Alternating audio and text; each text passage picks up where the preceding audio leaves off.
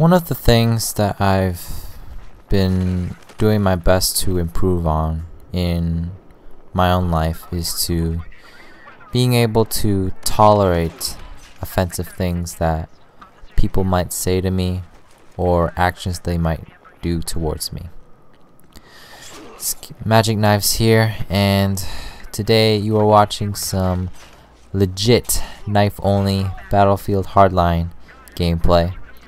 This is the map Riptides, and I hope you enjoy. And I really hope uh, you take interest in the future Battlefield knifing gameplays that I'm going to be bringing to you in the near future. But anyways, with that all said, in this commentary, talking about being able to tolerate offensive things or actions.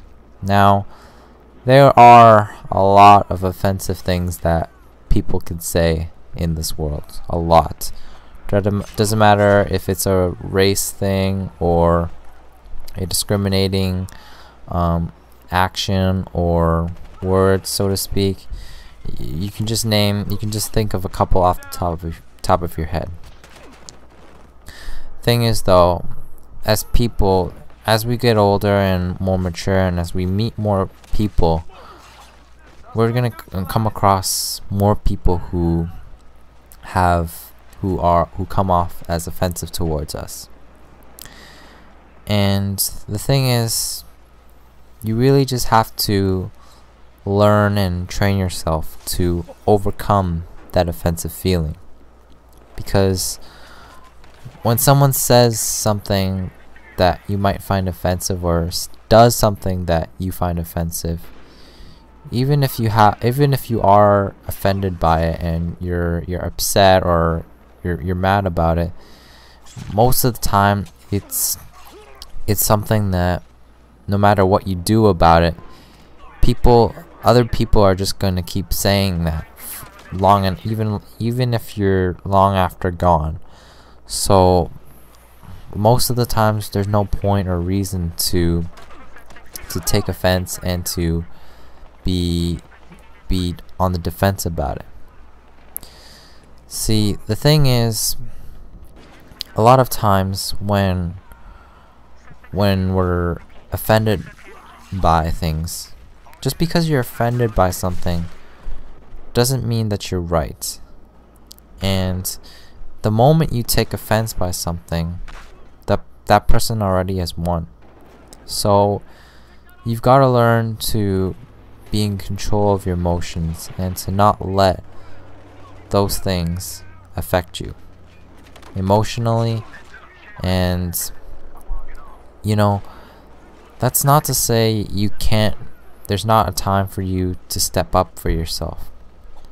The point is that you just have to pick and choose your battles and you know say to yourself you know people are, some people are just like that in this world and you know these are just words. And yes the sometimes the words do cross the line but it's up to you to decide when do the words cross the line and by the way in battlefield it really sucks that even when you get a knife animation and the knife's right in inside the person's throat or whatever and you still don't get the kill even when you get shot down by someone else. Just wanted to point that out there. But anyways back to the commentary.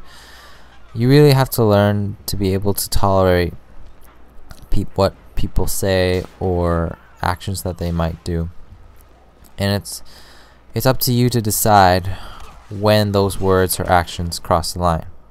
And for me I'm doing my, my best to work my work my my tolerance line to a high enough level. Especially when you're like me and you're working with a, with a lot of people in your work environment and so forth, you have to be able to tolerate the things that parents might say to you, or the things that kids might say to you, or anytime you're just dealing with a group of customers or certain customers that really don't appreciate what you're trying to do for them. And the same goes with people who've been bullied in the past, who have been picked on.